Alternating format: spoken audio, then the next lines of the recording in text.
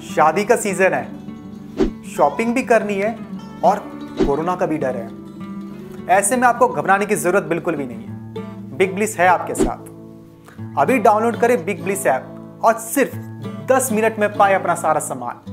Big bliss खुशियों की अपनी दुकान।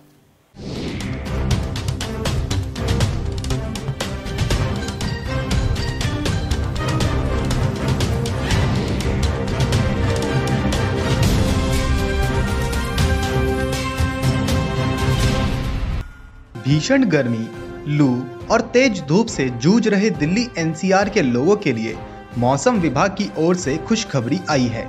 एक दो दिन में भीषण गर्मी से कुछ राहत मिलने की उम्मीद है। धीरे धीरे प्री मानसून गतिविधियाँ शुरू होंगी और 16 जून तक इनके बढ़ने की उम्मीद है।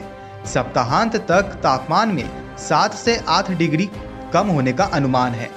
मौसम विभाग ने मंगलवार को दिल्ली में आंशिक रूप से बादल छाए रहने और बूंदाबांदी की भविष्यवाणी की है। अधिकतम तापमान तिरालीस और न्यूनतम तापमान 32 डिग्री सेल्सियस रहने का अनुमान जताया है।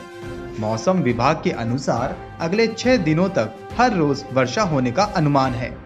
मौसम विभाग ने आगामी पाँच दिन के लिए तो येलो अलर्ट भी जारी कर दिया है। इससे बुधवार तक पारा 41 डिग्री सेल्सियस तक गिर जाएगा और 16 जून से चिलचिलाती गर्मी से बड़ी राहत मिलने की संभावना है।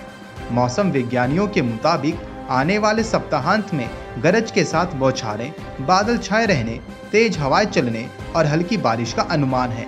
सफदरजंग केंद्र पर रविवार तक अधिकतम तापमान 36 डिग्री सेल्सियस तक गिर भी सकता है।